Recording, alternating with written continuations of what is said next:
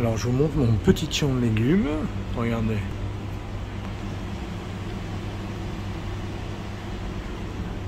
Donc normalement vous mettez des oignons au fond.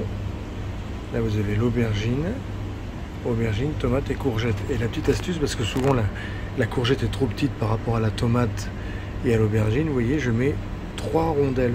Je mets deux rondelles au fond et une rondelle au-dessus. Comme ça, ça stabilise les, courgettes. Et donc vous avez deux rondelles de courgettes au fond, une au-dessus, qui sont celle du dessus est stabilisée par celle de dessous. Et comme ça, après vous pouvez enquiller les grosses aubergines, les grosses tomates. Là j'ai mis des cœurs de bœuf. Hein. Et après j'ai mis sel, poivre, beaucoup d'herbes de Provence. Et j'ai mis un petit mélange d'épices italiens. Vous pouvez rajouter un petit mélange d'épices mexicains, ce que vous voulez, pour encore renforcer le goût. Voilà.